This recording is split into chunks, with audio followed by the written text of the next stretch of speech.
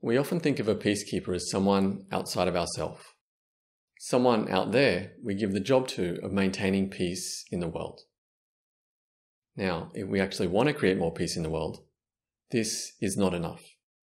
As long as we're giving someone else that responsibility, it means we're not taking full responsibility for ourselves, for our own contributions, for how our words and our actions impact other people because all of the unrest, the conflict, and the turmoil that's happening out there in the world, no matter how big or small, is a result of the unrest, conflict, and turmoil that's happening inside each one of us. And you don't have to take my word for this or anyone else's. If you're willing to honestly reflect on your own life experiences, you'll know this to be true for yourself. You know that when you're stressed, overwhelmed, unsettled, or frustrated. It's much easier to get into an argument or a conflict of some kind.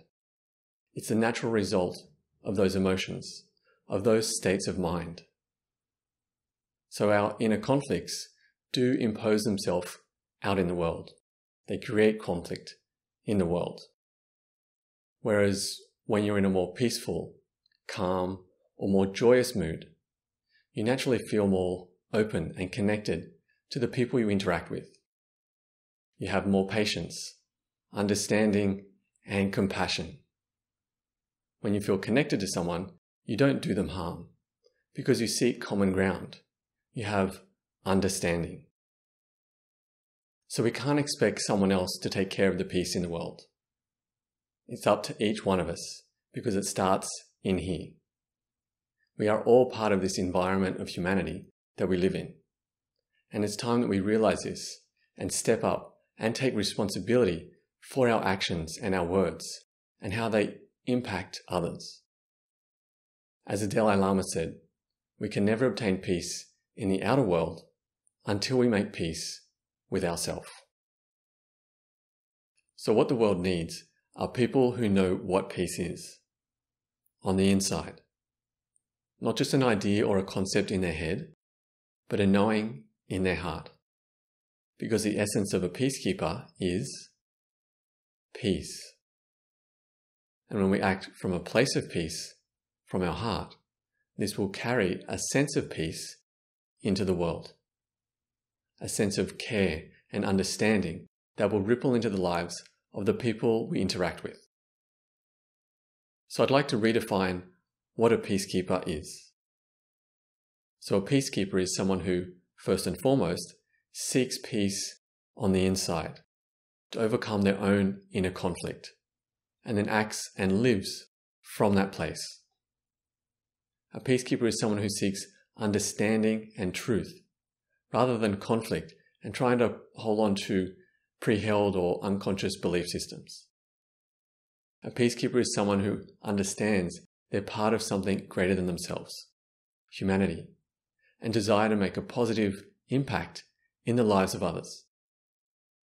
A peacekeeper is someone who knows that their outward actions are a result of their inner state of mind, and so strive to maintain the integrity of their actions and words by living from their heart.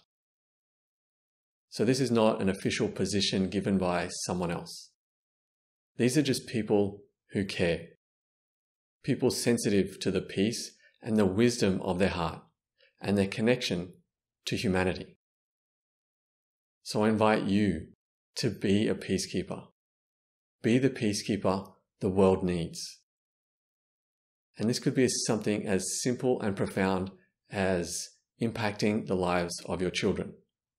Teaching your children by example how to live from the heart, what peace is to bring a sense of deeper connection to your family and friends.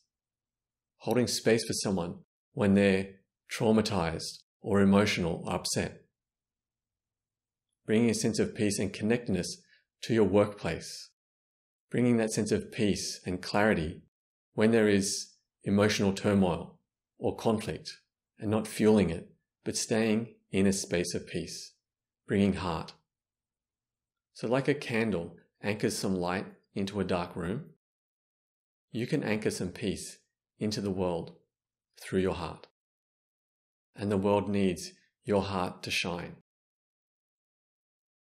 So it's time for us all to drop out of our head, our noisy head, and into our heart, and make a choice of what kind of a world we want to live in. Now, if you're inspired by this message, if you feel your heart respond, please share. Share this video so that others around the world can be inspired to open their heart. And together, we can bring some more peace and connection into the world. Thank you for watching. Thank you for your presence. I appreciate your time. And I look forward to sharing more with you very soon.